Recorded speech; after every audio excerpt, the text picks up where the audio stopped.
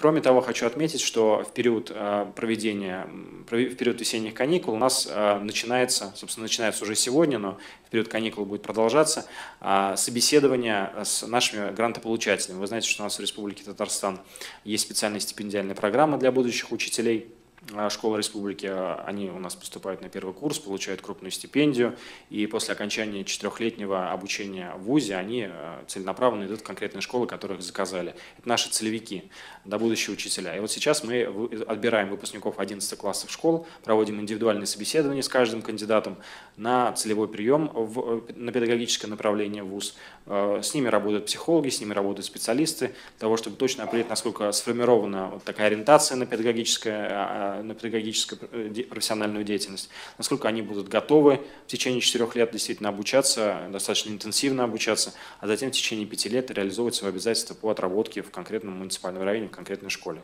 Собственно, у нас там порядка восьми а, зон. Вот, собственно, вот эти зоны представлены на слайде, период, попадают в период каникул. Это Буинск, Альметьевск, Чистополь, Елабуга, Набережные Челны.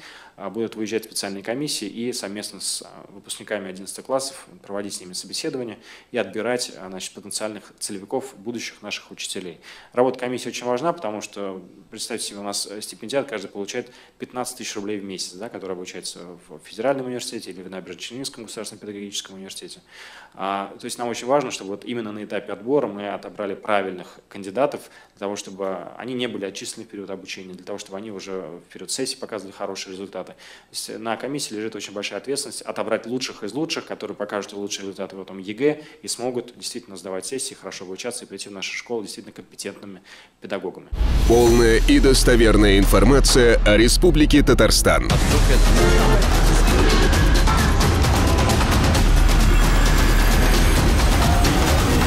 Информационное агентство «Татаринформ».